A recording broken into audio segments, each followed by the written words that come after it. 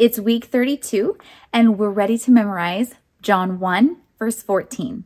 Here's what it says The Word became flesh and dwelt among us, and we have seen his glory glory as of the only Son from the Father, full of grace and truth. John 1 14. The tip of the week is to draw a picture. Of course, you come up with your own, but here's what I came up with the Word dwelling among us and his glory shining off of him. He's full of grace and truth.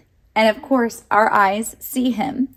So the verse is The Word became flesh and dwelt among us, and we have seen his glory glory as of the only Son from the Father, full of grace and truth. John 1 14.